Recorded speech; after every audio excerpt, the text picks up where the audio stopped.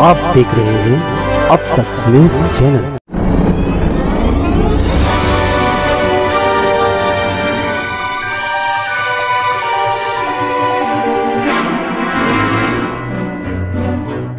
सभी ग्राहकों का पार्श्व ज्वेलर्स तहे दिल से आपका स्वागत करता है। अपना भरोसेमंद दालन सबका पसंदीदा पार्श्व ज्वेलर्स सराब बाज़ार मालेगांव।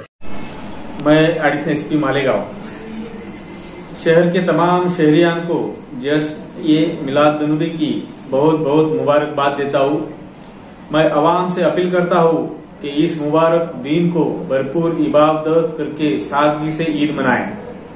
गुलिस्ता महीनों में कोरोना बीमारी ने सारी दुनिया को अपने चपेट में लिया था। उस बीमारी ने अपने शहर में भी कहर ढाया है। इस दौरान दुख की बात यह है कि हमने अपनों को खोया है। शहर के बड़े बड़े नामवर और उलमाओं को खोया है।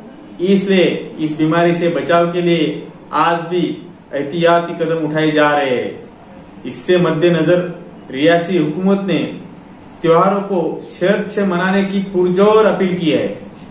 गुलिस्ता महीनों में जितने भी त्योहार आए, हर समाज ने इन त्योहारों को सादगी के साथ मनाकर प्रशासन को मदद की है।